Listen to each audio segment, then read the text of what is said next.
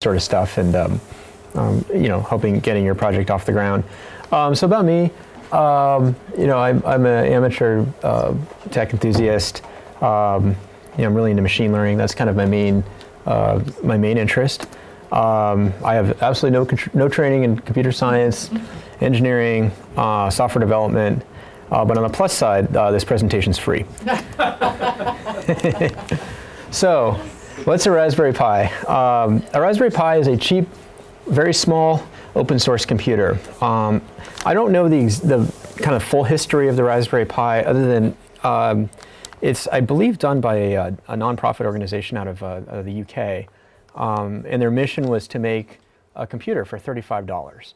And um, so it's, it's very bare bones um, and it doesn't have anything in it that um, you know isn't really kind of probably necessary to the very basic function functioning of a computer. Um, and uh, it's completely open source, meaning that uh, you you know the the the um, there's nothing's hidden from you. You can get the schematics for this thing. You can get the data sheets for all the components. Uh, there's ton of tons of information online about how to use it, and um, as a consequence, it makes learning and implementing stuff on the Raspberry Pi uh, really easy to do. And it's been a great service for um, the community, both for um, you know people like me building their own projects, uh, you know, for people learning about uh, programming, learning about um, you know uh, operating systems uh, or hardware. Uh, you know, it's just it's it's been a real um, boon to the community. So. Yeah, most most of us think of computers as being, you know, these big things that sit on your desktop um, you know, or, or, a laptop. Um, but uh, um, you know, the beauty with the Pi is it is so simple and it's so cheap. Um, and so even if you completely destroy it, which is unlikely, uh, you're only out 35 bucks. And so you should feel, uh, you know, very confident about taking risks, you know, with the technology and hooking things up. And as long as you observe some very basic, um, uh, you know, kind of uh, rules, you should be absolutely fine and uh, you're really not likely to break your Pi, but if you do, it's only 35 bucks. Um, and so uh, um, let me show you first of all kind of what's on the Raspberry Pi itself. Um, so kind of starting from uh, the upper right hand corner, uh, and this is the Pi Model 3. So this is the newest newest version of the, the Raspberry Pi. You can get them on Amazon. Um, and uh, um, you know, that they're quite a bit better actually than the, the version 2, which is what I started using uh, maybe about a year or two ago. And uh, so the version 3 comes with, uh, yeah, it's got four USB ports, uh, so you can plug in anything that has a USB uh, connector to it. This has one um, Ethernet port, so you can connect it directly to your network if you want. Um, it has a yeah, composite video and, and audio output jack, which I've never actually used, uh, but you can a camera port for plugging in directly to uh, a digital camera uh, in a manner that doesn't require you to go over the USB, uh, which is actually really handy for um, um you know uh, video or uh, photography applications. the HDMI port allows you to plug your Pi into um, you know any old monitor. Um, and then the power is just a standard micro USB. Same thing you use on your cell phone, most likely, unless you have an iPhone. And then, uh, yeah, the, the, the, display port, uh, which I've never used. Uh, so in the, in the brain of a Pi, so actually, if you would hand me mine, thanks. So the actual, the brain of the Pi and the uh, non-volatile memory storage is, uh, is this. It's, it's a little micro SD card uh, the same thing that you, well, before everyone started using you know, mobile phones as, a, as their cameras, it's the same thing that you'd use in a, in a camera to store your pictures on. And um, you know, this is the equivalent of the hard drive. This really is the hard drive of the Raspberry Pi. Um, you can get them again. This one's 32 gigabytes, and you can get it for like I don't know, maybe eight dollars or something. Um, so they're they're really cheap. And if you destroy it, you're you're only out eight bucks. Um, and uh, so then um, uh, the new models, the Model 3s have uh, Wi-Fi and Bluetooth built into them. And so um, you don't need to worry about, you know, in the, in the, with the Model 2, you'd actually have to have a little external dongle that you'd plug into one of your USB ports. Uh, so nowadays you don't have to worry about that anymore. It comes with uh, uh, Bluetooth and Wi-Fi. Um, the, and the, the heart of the Raspberry Pi, really what it's all about, is this uh, Broadcom chip. And the Broadcom chip is, I'm going to say essentially what you describe as a system on a chip. It's kind of, uh, that's basically it. You've got, you know, RAM, you've got, you know, a four-core processor, uh, you know, it's 64-bit, even though I think most Raspberry Pi applications are 32-bit. Um, but that's it. I mean, the real, that's really what the Pi is built around. And the, uh, the makers of Raspberry Pi have just done a phenomenal job being able to get all these components um, and manufacture this thing at an unbelievable price point. Uh, and that's just a real service to the, to the community. Um, next, we have a 40 pin extended GPIO. GPIO stands for General Purpose Input and Output. And these are the pins that you're going to use if you want to connect your Pi to other hardware, um, like sensors, for example, or motors um, that you don't, you know, that don't have a USB connection to them. And I'll go over that in detail later. Uh, and that's basically it. Um, you know, most people when they get a Pi, you know, they get uh, nice housing for it. That's like five bucks or something, uh, just to kind of protect it um, and it, have it look nicer and you can you can there's a screw mount so you can mount it on something like uh, the robot I built there. I mounted the the Pi on it, um, and, uh, and so that's about it. It's a very it's a very easy kind of technology to get into because the, the cost of entry is, is just so low. Um, so the uh, you know unlike your normal computer at home that's probably running Windows or if you have a Macintosh running uh, OS 10, um, the Raspberry Pi runs Linux. And uh, previously, maybe a, a, year ago, I gave a presentation on what Linux is. Uh, for those of you who don't know, Linux is uh, an operating system um, that, for the most part, is totally free and open source. Uh, this, this laptop here is running Linux. This is my main laptop. I use it every single day. Um, you know, most of the computers in the world, if you count things like servers and um, you know, data center computers, are actually run Linux because it is so it is very mature. Um, you can get all the source code for it, um, and um, and it's free. Um, your Android phone, um, the kernel of your Android phone is uh, Linux. Uh, the kernel of uh, OS 10 itself is based on a branch of Linux, and so Linux is kind of all around us, even if you don't kind of you know realize it. And uh, you know, from an educational perspective, if there's one thing that you know you could learn that would really be useful to you, you know, throughout your career um, in technology, uh, it's Linux. And as I said, you can get into it absolutely free, um, which is uh, you know never ceases to me ama- to amaze me how, how, awesome that is. Um, so yeah, as I said, this thing has you know ports for USB monitor, um, you know, internet. Uh, it's got Wi-Fi and Bluetooth uh, built in and then it has uh, GPI, GPIO pins that you can use to connect to other um, hardware. Um, and so, yeah, this is kind of sums up what I've been talking about. Um, why are people, why have, why have we all heard of Raspberry Pi to begin with? Um, you know, why has it kind of become this uh, little bit of a movement? Uh, because it's cheap and simple. If you have any sort of project that you can think of, uh, this kind of like an electronics project or robotics project or anything like that, and you need a brain for it, uh, Raspberry Pi is just a great place to start. Um, the Raspberry Pis are becoming increasingly powerful. You know, even though this thing, you know, is tiny and runs off of a, you know, a micro USB, um, you can actually do a surprising amount with them. Um, open source, you can get, you know, there's no, nothing hidden from you, so you don't have to sign a non-disclosure agreement to see, you know, how, how it works and to, to learn everything you could possibly want to know about the internals of this thing. Uh, and then it's, you know, in the education community, uh, people love Raspberry Pis because, um, you know, used correctly, they're just a wonderful educational tool. If you uh, want to build something like, you know, that robot that I have sitting on the table, you're, you're by necessity going to learn a little bit about operating systems, a little bit about hardware, and, um, and definitely a little bit about programming uh, all at the same time, even though you might not realize that you know you're actually learning a tremendous amount. And so that's that's the other thing that's really wonderful about the Pis. So, what can you do with these things? Um, in, in preparing for this presentation, I looked through a ton of kind of open source, you know, of uh, pu public um, projects that people uh, that people do with uh, Raspberry Pis.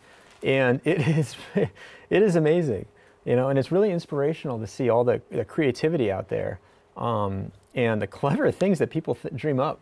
Uh, you know, when you give somebody a really cheap computer uh, that's really small, it's just amazing what they will come up with. Uh, so I like this one, uh, for example, it's a FishPi, uh, an autonomous boat, and so you can stick the boat in, um, uh, you know, any any body of water, and it can go find its own way uh, much like a much like a drone. Um, this is a um, uh, call it a really cheap uh, radio in a sense that you could put kind of anywhere. You know, because they're so cheap, you can put them anywhere you want. And so this will let you through the you know stream music through the internet.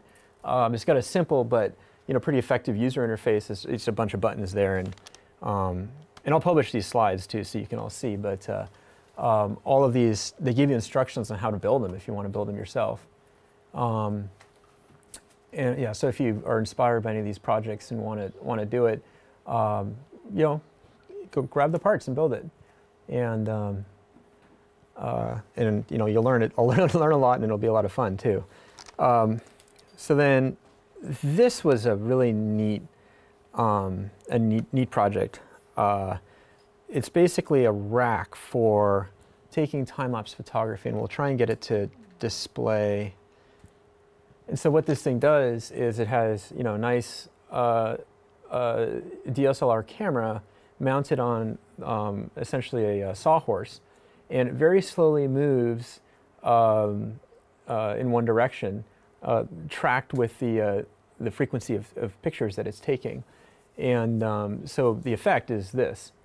Uh, unfortunately, it's better if it was a little bit darker in here, but uh, you know, you get these beautiful um, kind of photoscapes um, that uh, you know you really, if you didn't have a Raspberry Pi and had to come up with this on your own, uh, you know, you might have to go out and buy some pretty expensive equipment or try and figure it out manually or whatever. But the Raspberry Pi enables you to build that um, in a very simple and inexpensive way, and you've got instructions um, right here if you want them.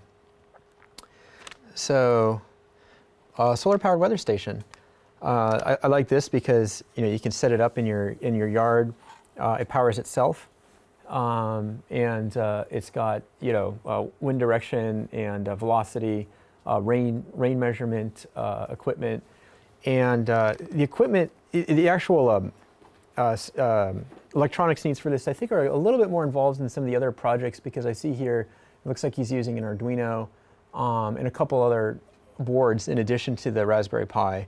And so you probably need a little bit more uh, to actually build this one, um, but it would be a, a, really neat project. And you could wire it up to uh, Weather Underground, and you could actually contribute to uh, the body of meteorological data that is uh, continuously being made. Um, I like this one because you can take an old. You have a question? Well, the weather station, they can run it off of a uh, solar panel. Let's check it out. They claim to. Uh,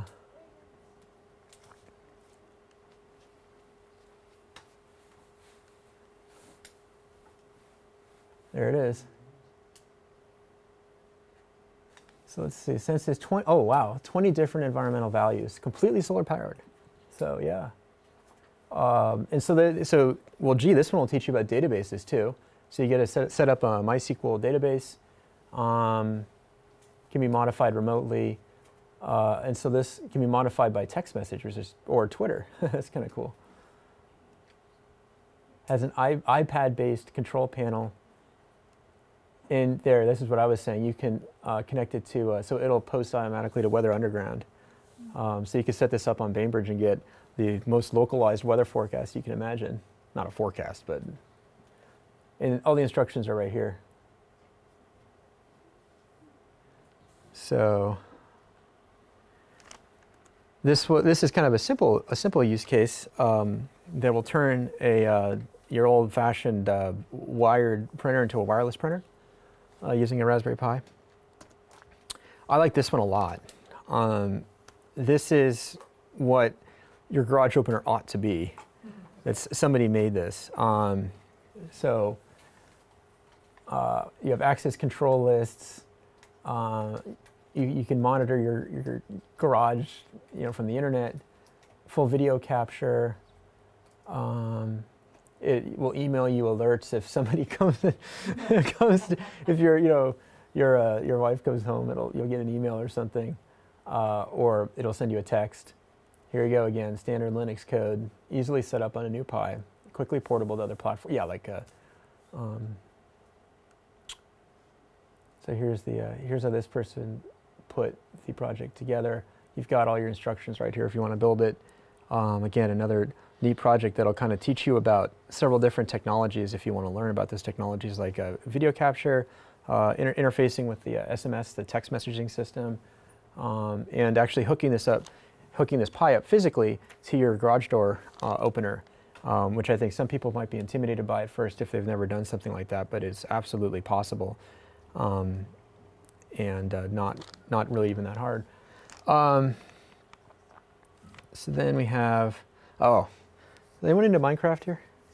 Yeah. All right. So Minecraft for uh, people who are probably older than the, the youngest generation is uh, uh, an extre extremely popular game um, that uh, essentially, what's the best way of describing it? It creates almost like a virtual world, um, but instead of the world being comp comprised visually of little pixels, the unit of um, volume in Minecraft looks like a it's like block, and so it looks like a Lego. It looks like Legos, and uh, Microsoft I think just bought Minecraft for what a couple billion dollars or something uh, because it's been so so popular. But one thing you can do is set up a server, uh, you know, for so that you and your friends or whoever can um, play Minecraft uh, together, and you don't need a big old desktop computer necessarily to uh, run your server. You actually only need a Raspberry Pi. And this is one of the, you know, when I was saying that Raspberry Pis can be surprisingly powerful, this is kind of one of the examples of that. Um, there you go. So you can play with your friends from across the world on your Raspberry Pi. And um, I'd actually be interested to know what the performance of this is, you know, compared to a, a traditional server, um, because I, I, don't know, and I don't think they, they talk about that that much. But, you know, all the stuff you need is, is right here if you wanted to build this. And unlike some of the other projects, this is really a software project. And so there's not really any external hardware that you have to have to use. You know, you just plug this into your network, um, you get the software running, and then it, it, it should work. Um, this was a neat project. So this is a Raspberry Pi powered weather balloon. And so this um, this involves not only a Raspberry Pi, it's called Pi in the Sky, uh, but also an additional uh, board that you can uh, presume buy, or you suppose build it if it's open source. Um, so it's a little bit more involved in terms of your, you know, your cost. Um, I'm not sure what, the, you know, how, how expensive this is, but uh, it interfaces with the Raspberry Pi. And uh, they, I think they have some, uh, uh, they had some really cool pictures that I found when I was researching this of, um, let's see, of, uh, here's one. You know, I mean, look at that. I mean, to imagine you could actually yourself go out and configure a balloon to take uh, photographs like that is just uh, really remarkable. that photograph came from this? Yeah. Oh, hmm. Let's see if they have. Uh, UK. I'm not sure actually what the uh, FAA regulations are about weather balloons. This all was done in the UK. so if you actually, if anyone actually wants to build this, I think you want to look into that a little bit more thoroughly. But um, uh, but that's the idea. So um, this one was kind of cute. Um, you know, it can detect if uh, you know. I think it's pretty simple. I think it just uh, fe feeds your pets uh, um, you know, either when commanded to or on a, on a regular basis. Um, and uh, yeah, and, and, that's it. And so I should talk a little bit about uh, two projects that I built with Raspberry Pi. Um, in both cases, well, in, one case to satisfy a need I had, which is that I wanted to be able to turn on my computer at home um, and access it online when I wasn't at home because I didn't want to leave it running all the time to save power. And so what I did, you know, the computer, it's a big desktop computer, uses a lot more power than one of these. And so what I did was I just connected the uh, pins on this to essentially the really the power button on the on the computer itself, the physical power button, and uh, I leave this thing running all the time, uh, which uses you know very small amount of power. So I can log into this remotely. I you know issue the command, and then it'll it's the equivalent of like literally like hitting the power button on my big computer. The big computer will boot up, and then I can use it. Um, and that, that was just a, it's a neat, very simple application that you can run for the Raspberry Pi. It was the one that satisfied a need I had, um, and you know, the, my total cost of the project probably was about forty dollars or something. Uh, and then a little bit more involved is uh, this little robot I built, um, which uh, unfortunately is in a non-functional state right now. um, so I love to be able to demo it. I haven't had time to set it up. Here, we'll uh, get it on camera. Uh, would you mind handing it to me? Okay. So this is, uh, um, I can explain it. You know, have to use your imagination. So the the chassis of the robot is built out of uh, um, you know parts you can order online. It's essentially just you know a bunch of uh, you know pieces of plastic with holes drilled in them where you can screw in standoffs like this, and uh, uh the the treads are a kit that you can get. Um, the treads are a little bit a little bit wimpy, unfortunately. And uh, you know, when I was uh, testing it, sometimes I'd be away from home and it would be driving around the apartment, and then one of the treads would come off and it would be stranded, and it was frustrating. But um, so the one thing I would definitely involve is, is putting a better set of treads on it.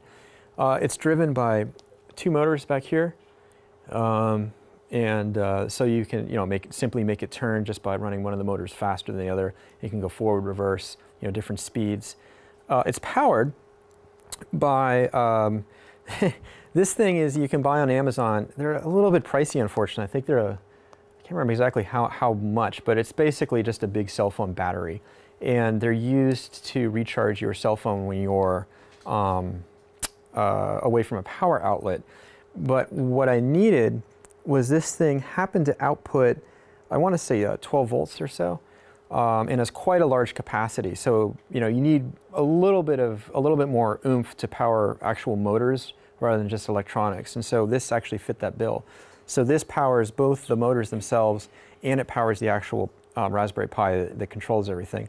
So um, the Raspberry Pi um, I can log into on the internet when it's when it's functional, uh, just over Wi-Fi. So everything works uh, via Wi-Fi, and um, then I built a uh, interface board here, which actually uh, controls the, you know, the, the, the, Raspberry Pi issues controls to the motors um, via this board.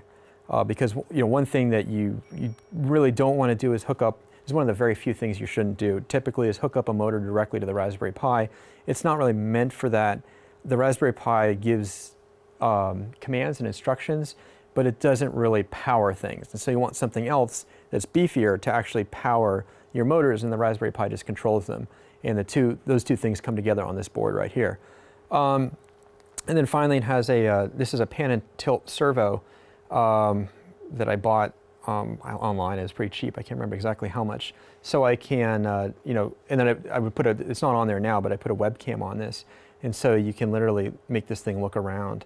Uh, so it's basically a, you know, fully functioning, uh, non-autonomous, but uh, um, you know, remote controlled robot that uh, you know can roam around the house and whatnot and uh, look at whatever it wants to look at, and you can control it from anywhere that you have a internet connection. And so, you're welcome to take a look at it if you want later on, and I'll explain you know in detail um, kind of how I put together if people are interested. Um, so those are two projects that I built. So. Um, all right, well let's let's get to the good stuff, which is actually you know playing with the Raspberry Pi. So uh, there are really two parts of the, the puzzle. One is how do I talk to my Pi, and then how do you get the Pi to communicate with the outside world. And so first, we're going to talk about how you actually uh, communicate with the Raspberry Pi.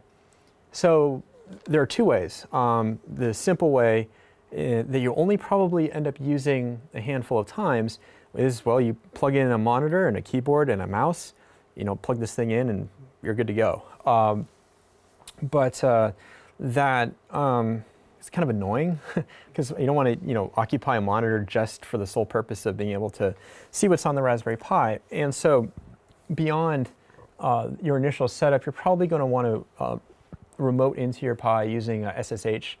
Um, SSH is a very it stands for secure shell. It's a very commonly used, very secure um, method of remotely logging into a computer. And it's the way I'm going to say that almost everybody communicates with the Raspberry Pi after they've done that initial setup on it. Um, because without that, yeah, you have to use a monitor and a keyboard, and it's, and it's annoying. Um, and the beauty of SSH is you can use it, you know, properly configured, you can use it anywhere. Um, you know, you could access your Pi from anywhere that you have uh, internet connection. And so we'll talk about getting that set up uh, later.